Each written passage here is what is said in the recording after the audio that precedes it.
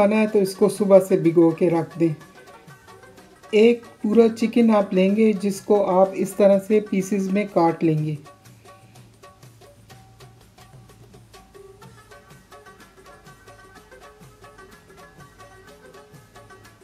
एक किलो गाजर लेंगे, जिसको आप इस तरह से काट लें, जिस तरह के मैंने काटा हुआ है। इस तरह आप इसको लंबा लंबा काट लें।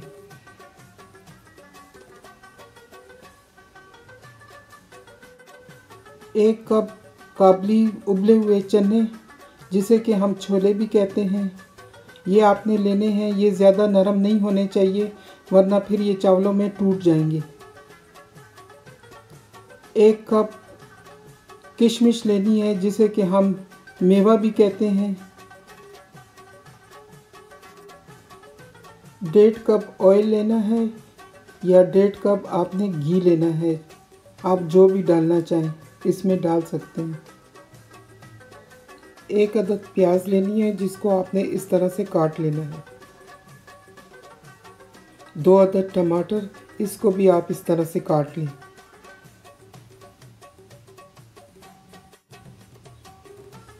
दो खाने के चम्मच लहसुन का पेस्ट। डेढ़ खाने का चम्मच गरम मसाला पाउडर लेना है।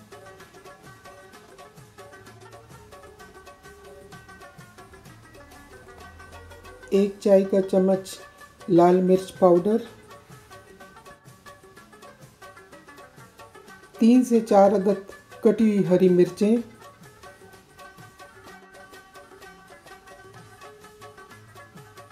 एक कप बादाम जिसको हम दो तीन मिनट के लिए उबालेंगे और इसका छिलका उतार लेंगे और फिर इसको कुकिंग ऑयल में थोड़ी देर के लिए तल लेंगे ताकि ये थोड़े से ब्राउन हो जाए, ये गार्निश के लिए।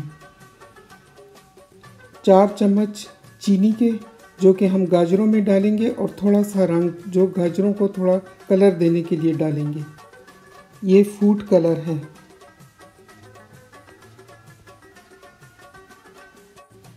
अब मैं पतीले में ऑयल डाल रही हूँ ताकि ये अच्छी तरह से गर्म हो जाए।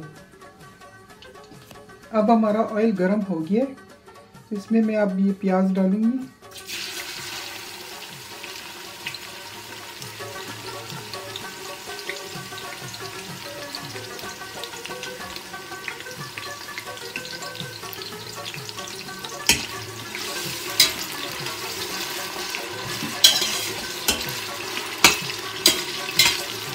के लिए प्याज ज़रा ज़्यादा ब्राउन करते हैं ताकि इसमें कलर आए।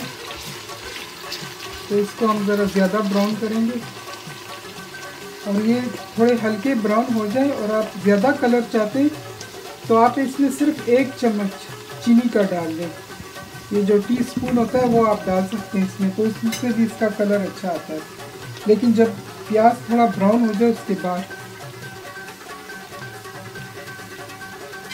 अब ये प्याज हल्की सी ब्राउन हो गई है।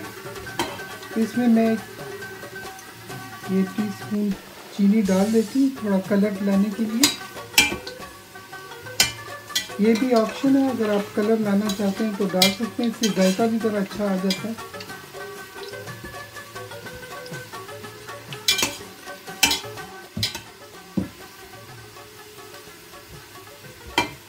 अब इसमें मैं लहसुन डालूँगी।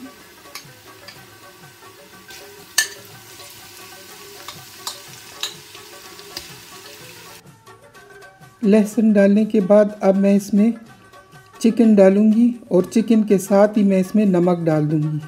आप जब भी गोश्त या चिकन पकाएँ तो सबसे पहले इसमें नमक डाला करें। शुरू में ही नमक डाल दिया करें। बाज़ लोग बाद में नमक डालते हैं। इससे ना गोश्त का जायका अच्छा आता है और ना चिकन का। तो आप चिकन या गोश्त बना रहे हैं तो शुरू में ही इसके साथ ही नमक डाल दिया करें। इससे गोश्त और चिकन बहुत नमकीन आता है। अब इसकी कुछ देर मैं बुनाई करूँगी। आप भी इसी तरह चिकन को चार से पाँच मिनट तक भूनते रहें। अब मैं इसमें गरम मसाला ऐड करूँगी।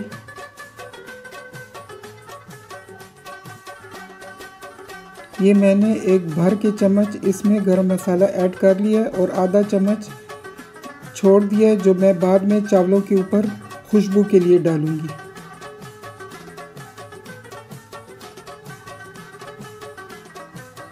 अब ये चिकन अच्छी तरह से भुन गया और इसमें अभी मैं हरी मिर्चें ऐड कर रही हूँ, जो कि मैंने काट के रखी थी। ये मैंने लाल मिर्च पाउडर डाल दिया और इसको फिर थोड़ा सा और हिलाएँगे।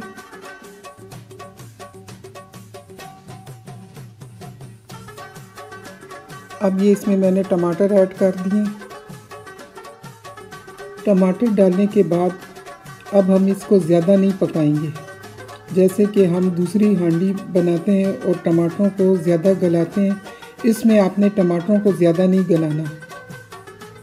बस सिर्फ़ दो तीन मिनट इसको पकाना है, ताकि टमाटर ज़्यादा ना गलें। अब मैंने इसमें उबले हुए काबली चने ऐड कर दिए। जिसको हम छोले भी कहते हैं, इसको इस तरह से इसमें मिक्स कर लें और अब मैं इसमें छः कप पानी डालूँगी। ये छः कप पानी मैं सिर्फ़ यखनी निकालने के लिए डाल रही हूँ। इसको मैं 20 मिनट तक उबालूँगी ताकि ये चिकन भी नरम हो जाए और इसकी यखनी भी निकल आए।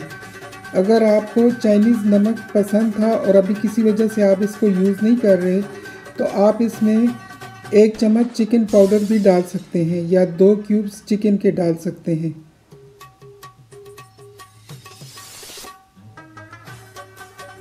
अब इसको तकरीबन मैं 20 मिनट के लिए उबालूँगी। ये 20 मिनट गुजर चुके हैं और इसकी यखनी निकल आई है और चिकन भी नरम हो गया अब इसमें मैं चावल डालूँगी और चावल डालने के बाद बाकी का पानी डालूँगी। अगर आप पाँच कप चावल ले रहे हैं तो उसके लिए आप आठ कप पानी डालें। और अगर आप छः कप चावल ले रहे हैं तो उसके लिए नौ कप पानी डालें। लेकिन अगर आपके चावल सेला बासमती हो तो क्योंकि ये इसका नाप है। आप हमेशा सेला चावल ही इस्तेमाल करें। सेला बासमती चावल से काबली पुलाव बहुत ही अच्छा आता है। अब थोड़े थोड़े करके इसमें मैंने चावल डाल दिए। और जो बाकी के चावल हैं, अब मैं वो भी इसमें डाल रही हूँ। अब सारे चावल मैंने इसमें डाल दिए। ये मैं आपको नज़दीक से दिखा रही हूँ, ताकि आपको नज़र आए कि इसमें कितना पानी डालना है। छः कप मैंने पहले डाले थे। छः कप मैंने जो पहले डाले थे, वो मैंने यखनी निकालने के लिए डाले थे और अब इसमें मैं तीन कप पानी और ऐड कर रही हूँ क्योंकि मैंने छः प्याली चावल लिए जब आप इसमें पूरा पानी डाल लें तो इसके बाद इसका नमक चखें। नमक इसका तेज़ रखेंगे। आम हांडी की नस्बत इसमें नमक आप तेज़ रखेंगे। तो जब इसका नमक बराबर हो जाए तो इसके बाद इसको आप ढक के रख देंगे और आखिर तक आपने इसमें चमचा बिल्कुल भी नहीं हिलाना। ये सबसे ज़रूरी टिप मैं आपको देने जा रही हूँ। इसी की वजह से आपके चावल बहुत ही अच्छे आएँगे। मैंने काफ़ी सारे लोगों को नोट किया है जो चावल पकाते वक्त बहुत सारी गलतियाँ करते हैं और इसमें सबसे बड़ी गलती यही है कि वो चावल पकाते वक्त इसमें बार बार चमचा हिलाते हैं, जिसकी वजह से इसका निशाश्ता बाहर आ जाता है और चावल नीचे लग भी जाते हैं और ये खिले खिले भी नहीं आते। ये चावलों की सबसे ज़रूरी टिप है, जो मैंने आपको बताई है। मैं चावलों को अब तीन मुख्तलिफ़ हीट्स पे बनाऊँगी। सबसे पहले मैं चूल्हा तेज़ रखूँगी ताकि इसमें उबाल आ जाए। जब इसमें उबाल आ जाए तो मैं चूल्हा मीडियम हीट पे रख लूँगी तो मीडियम हीट पे रखने के बाद फिर मैं अब आपको दिखाती हूँ कि चावल किस तरह से रह जाएँ। तो आपने इसको दम पे लगाना है। अब आप अपने पास नोट कर लें कि इसमें आखिर में कितना पानी होना चाहिए, जिसके बाद आप इसको दम पे लगाएँगे। अब आप देख सकते हैं कि चावलों में अब इतना पानी रह गया है। तो आपने इस मौके पर चूल्हे को बहुत ही ज़्यादा आहिस्ता कर देना है। और चमचा बिल्कुल भी नहीं हिलाना जैसा कि मैं आपको बता चुकी हूँ। अब इसका पानी खुश्क होने तक मैं इसको बिल्कुल आहिस्ता चूल्हे पे पकाऊँगी और उस वक्त तक पकाऊँगी जब तक कि पूरी तरह इसका पानी खुश्क ना हो जाए। मैं दम देने के लिए बिल्कुल भी कपड़े का इस्तेमाल नहीं करती, बस सिर्फ़ ढक्कन लगा के इसको मैं दम देती हूँ। अब मैंने चूल्हा आहिस्ता करके इस पर ढक्कन रख दिया। और इसको अब मैं उस वक्त तक पकाऊँगी जब तक इसका पानी खुश्क ना हो जाए। और अब मैं इसको दूसरे चूल्हे पे शिफ्ट कर देती हूँ। अब मैं इस कढ़ाई में ये गाजरें डाल के पकाऊँगी बग़ैर घी के, बग़ैर तेल के, बग़ैर पानी के। इसको मैं चार से पाँच मिनट तक पकाऊँगी ताकि ये नरम हो जाए। अब चार से पाँच मिनट के बाद मैं इसमें ये चार खाने के चम्मच चीनी के डाल रही हूँ। चीनी डालना बहुत ज़रूरी है ताकि गाजरों में मिठास आ जाए। और मैंने इससे पहले थोड़ा सा रंग भी डाल दिया है। अब ये गाजरें नरम हो गई हैं और अब मैं इसमें तेल डाल रही हूँ। तेल डालने के बाद दो से तीन मिनट इसको और पकाएँगे। और जब दो तीन मिनट गुजर जाएँ तो इसमें मैं अब ये किशमिश डालूँगी। किशमिश को पहले मैंने धोया है और फिर उसके बाद इसको पंद्रह मिनट के लिए पानी में भिगोया था और छान कर अब इसमें मैंने डाल दिया है। अब थोड़ी देर इसको पकाएँगे। दो तीन मिनट इसको पकाना है और अब ये पक चुके हैं। अब मैंने उबले हुए पानी में ये बादाम डाल दिए हैं, जिसको मैं दो तीन मिनट तक उबालूँगी और इसका छिलका उतारूँगी। अब आप देख सकते हैं कि दो तीन मिनट गुजरने के बाद इसका छिलका खुद ही उतरने लगा है। अब इसका सारा छिलका उतार के और उसके बाद ये ऑयल गर्म करके इसमें हम ये बादाम तलने के लिए डाल देंगे ताकि ये ब्राउन हो जाए। इसको अब ब्राउन होने तक हमने इस तरह से तलना है। अब ये बादाम पक चुके हैं, आप देख सकते हैं, ये इस तरह से इनको ब्राउन करना है और ये हमने गार्निश के लिए यूज़ करना है। अब ये चावल देखें, ये भी पक चुके हैं, बहुत ही मज़ेदार खिले खिले चावल आए हैं। आप देख सकते हैं आपको अंदाज़ा हो गया होगा कि ये किस तरह से खिले खिले चावल आए। एक चावल भी इसमें चिपका नहीं है और ना टूटा है। अब इसको मैं डिश आउट करूँगी। काबली पुलाव के लिए स्पेशल मैंने ये प्लेट रखी हुई है।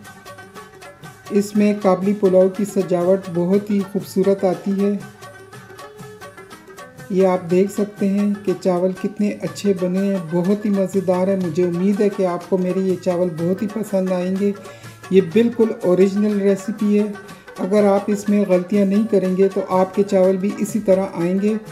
आप स्टेप बाय स्टेप मेरी इस रेसिपी को फॉलो करें तो आपसे कोई भी गलती नहीं होगी। मैंने आपको बहुत सही तरीके से समझाया है। इसके पकाने का तरीका आपको सही तरीके से समझाया। अगर आप मेरी टिप को फॉलो करेंगे तो कभी भी आपसे ये चावल ख़राब नहीं होंगे। ये पकाने में बहुत ही आसान है।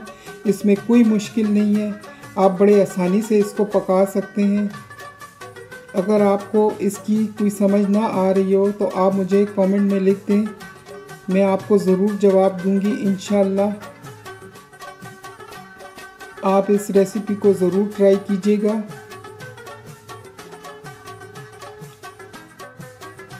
इसी तरह मैं आगे भी आपके लिए बहुत ही बेहतरीन यूनिक और मज़ेदार रेसिपीज़ लेके आऊँगी। आप मेरे चैनल को सब्सक्राइब कर लें ताकि आपको मेरी हर आने वाली रेसिपी सबसे पहले देखने को मिले। अब मैं इसके ऊपर गाजरें डाल रही हूँ। जब आप इस पर गाजरें डालें तो इस बात का ख्याल रखें कि गाजरें गर्म होनी चाहिए ताकि ये आपके चावलों को नीचे ठंडा ना कर दें। और एक आपको मैं दूसरी टिप देना चाहूँगी। अगर उसी दिन आपके पास टाइम नहीं है, जिस दिन आप चावल बना रहे हैं तो आप इन गाजरों को दो से तीन दिन पहले पका के और किसी एयर टाइट बर्तन में डाल के फ्रिज में रख सकते हैं। तो जिस दिन आपने चावल पे डालने हो, उस दिन आप इसको गर्म करके इस पर डाल सकते हैं। और बादाम के बारे में भी मैं आपको एक टिप देती हूँ। ये आप तीन से चार हफ़्ते यूज़ कर सकते हैं। अगर आप इसको किसी एयर टाइट बोतल में डाल दें, जैसे कि जैम की बोतलें खाली होती हैं। जैम की बोतलों को अच्छी तरह से धो के, उबले हुए पानी से और उसको ठंडा करके, खुश करके उसमें ये बादाम डाल दें और उसका ढक्कन बिल्कुल टाइट बंद कर दें। तो ये तीन से चार हफ़्ते आपके ये बादाम चल सकते हैं। जब ये चावल आप इन बना लें तो मुझे ज़रूर बताइएगा कि आपके ये चावल कैसे बने अगर आपको मेरी ये रेसिपी पसंद आई हो तो प्लीज़ मेरे चैनल को सब्सक्राइब कीजिएगा लाइक कीजिएगा शेयर कीजिएगा और बेल आइकन के बटन को प्रेस कर दीजिएगा।